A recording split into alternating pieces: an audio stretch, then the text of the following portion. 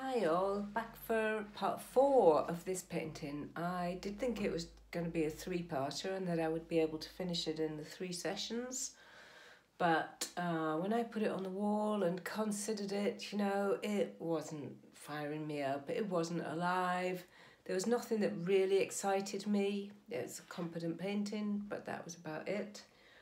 There was nothing that was doing it that spark. So I put it on the wall and although I was feeling a bit of self-imposed pressure because I wanted to have it done for you all so you could see it. I knew it wasn't what I wanted to um, give to you in terms of um, a demonstration about creative confidence. So today I came back up into my little studio here and I was playing about and I was um, in between commissions and I thought I just want to have a little play. I need some fresher colours. It's raining outside so I picked up a colour I don't haven't used before but I think one that's going to become my favourite one for a while. It's quinacridone red this time, not the magenta, it's the red. It's a pinkier red.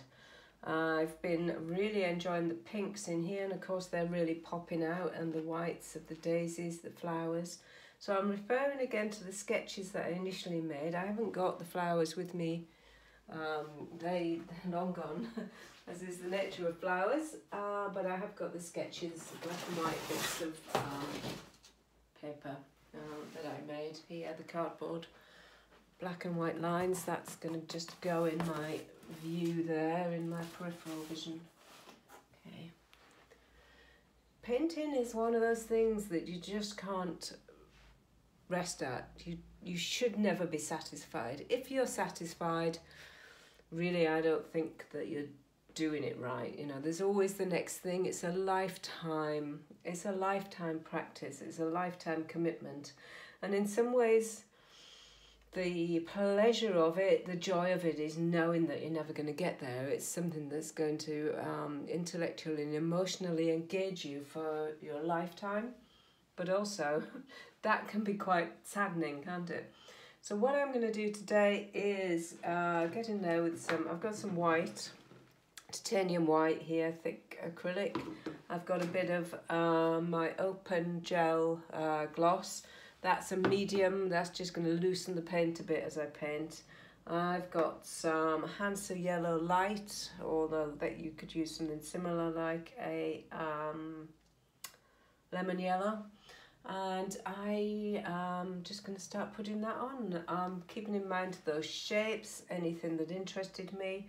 I've got also here a magenta coloured um, oil stick, black oil stick and a white oil bar and I'm just going to get in there because it's not what I want it to be so I've got nothing to lose here. Let's get brave. Mm. Let's peel the edge off this oil bar to start with. Mm. I have ordered some more of these. I hope they come soon. There we go. Come on now. Let's get you. Let's get you. What are we saying here? Hmm? Are we saying we like flowers? They're tiny and little. No, no, we're saying we love flowers. They're bold and they're vibrant and they give life. They're energizing and we are not settling for a second best. We are not settling for that. Paint is generous. It's going on there generously. Embrace paint like we are embracing life.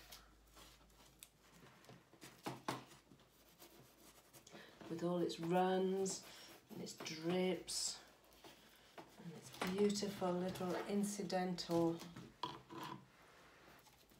marks.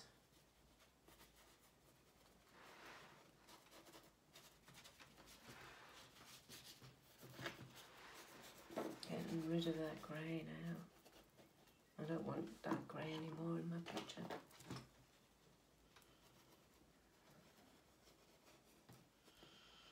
Being open, feeling, engaging with, responding, yes, no, yes, no, yes, yes. What am I wanting to say yes to? saying yes to that. Look at that beautiful mark against there. I'm stopping there with that, saying yes to that. Just this bit here, the rest of it is not there yet.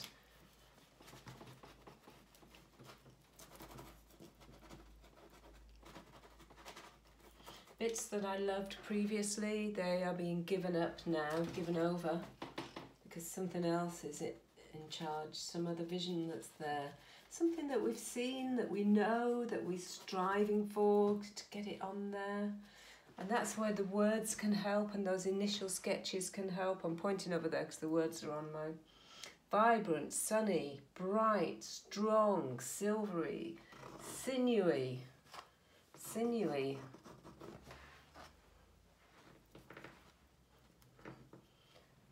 Sinewy.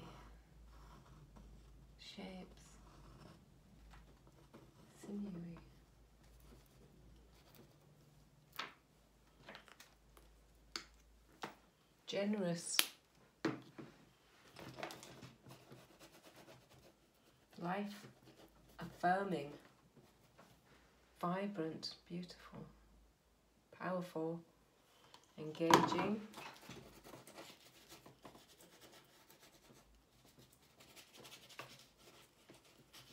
Paintings, um, there's a, an artist I love, um,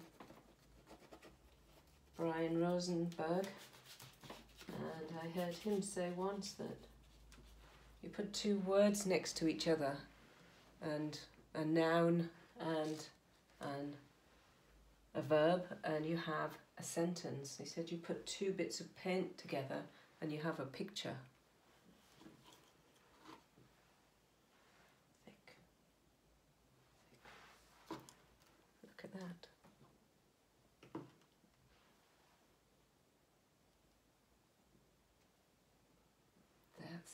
Much more satisfying. Much, much, much more satisfying.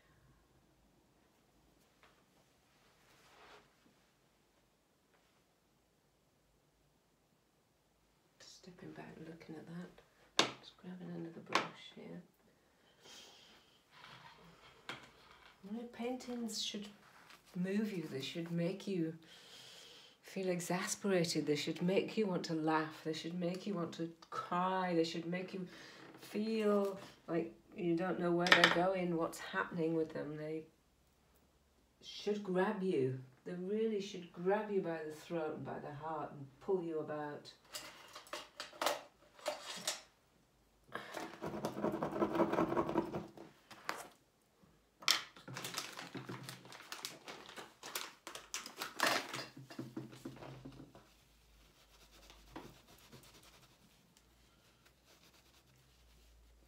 Yes, no. Where's the joy? Yes, no. Where is it?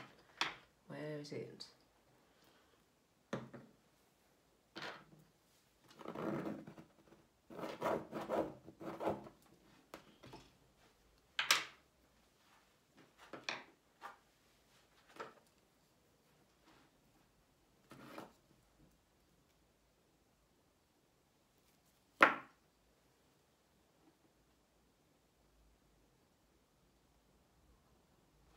Thinking, giving it time, giving it space, letting it talk. Looking at the different tools I've got, not just using one brush, using different things. The charcoal here.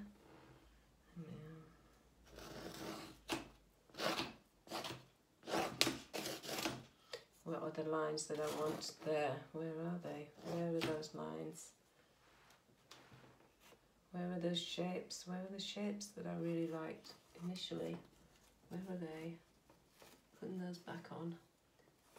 Not where they were with the flower arrangement. That was just um, that was just to give me a suggestion of where the flowers, the ideas might be, the shapes might be.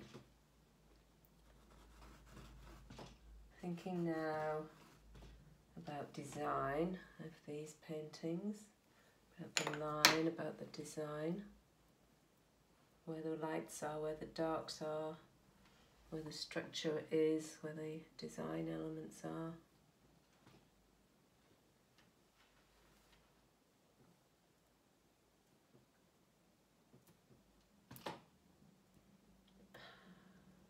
Saying yes.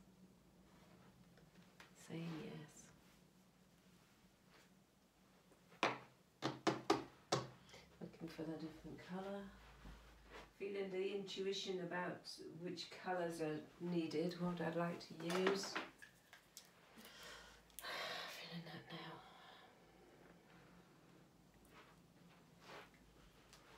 How's that? Looking better? Is there any bits we're not good there with that we could change? Being generous with those colours, you know.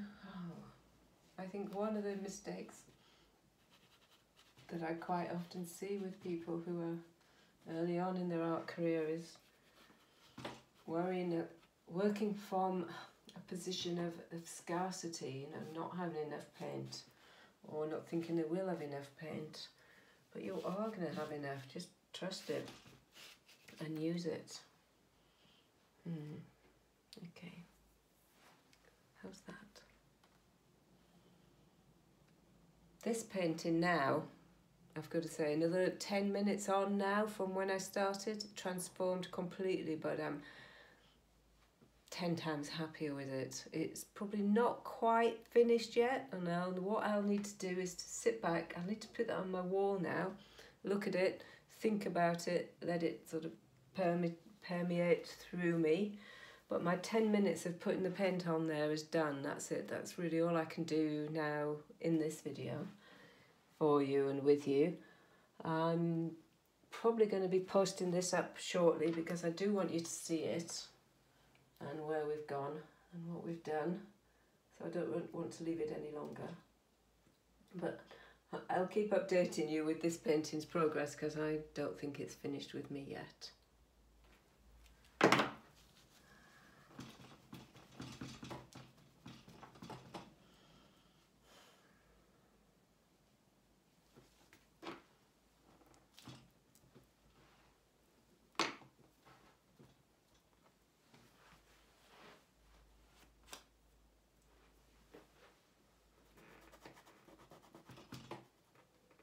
I it hasn't finished with me yet.